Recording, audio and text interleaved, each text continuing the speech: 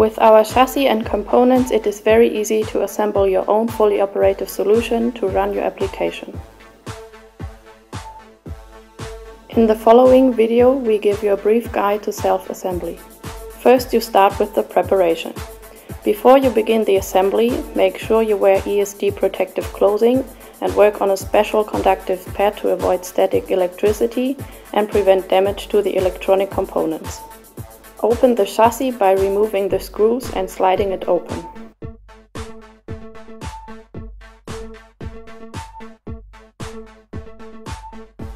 Now unpack the accessories and the crossbar. Finally, remove the hard disk carrier.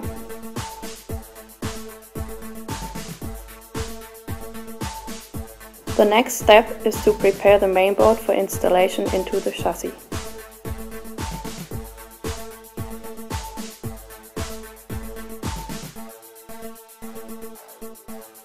First of all, screw the cooler with the back plate onto the mainboard.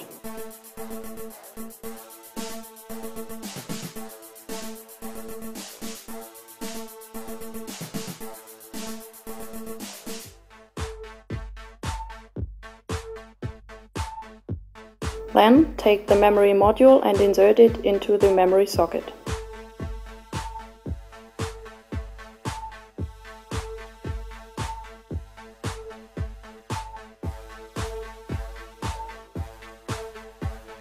You can now insert the main board into the chassis.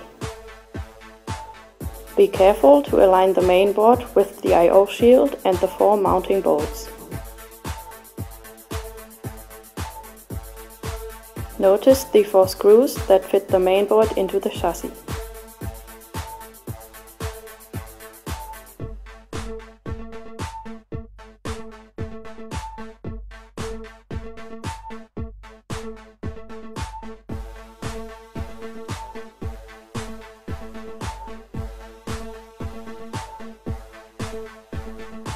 There is also a wireless LAN module with integrated antenna which can be used in this chassis. To install this module, break out the metal cover at the back of the chassis.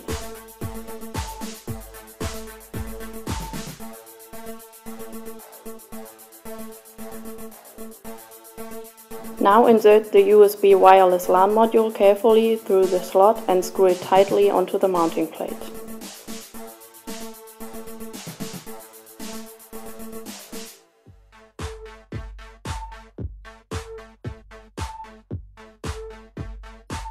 To protect the wireless LAN antenna, which is positioned outside the box, please attach the plastic cover.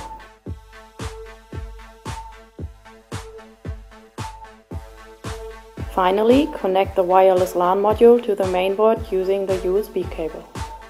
If required, you can insert a hard disk drive into the hard disk carrier in the chassis. The hard disk can be fixed to the bottom of the carrier using the four screws provided.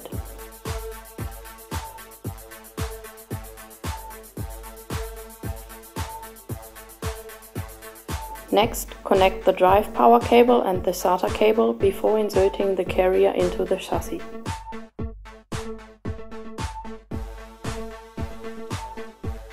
When inserting the hard disk carrier into the chassis, be careful of the cable routing for the wireless LAN module.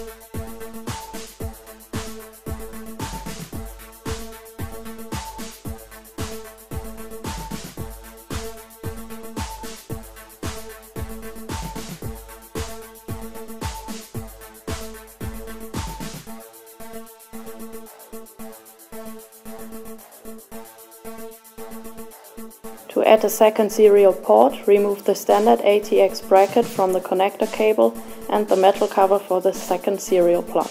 Insert the adapter cable through the plug into the chassis and mount it at the rear side of the housing with screws.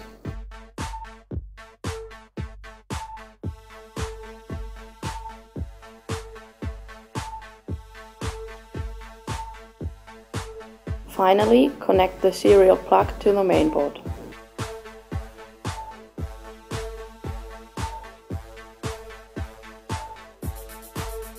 A riser card can be installed into the PCI slot on the mainboard. Remove the metal cover at the back of the housing and plug the riser card into the PCI slot. Careful attention should be paid to the correct fitting of the riser card.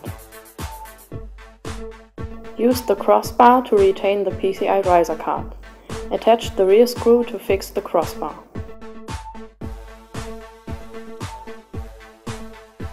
You can also use a PCI Express Flex riser in order to install PCI Express X1 adapter cards for example an USB 3.0 controller.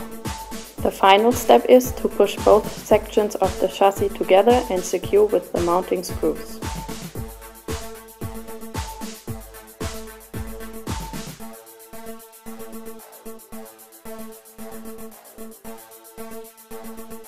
At the back of the housing you can add a plastic lock for the AC plug in order to prevent it from being removed. If required, you can assemble the feet for the housing.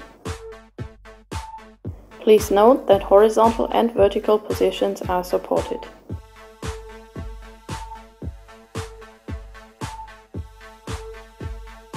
For further guidance, please refer to our 7-step checklist for the assembly.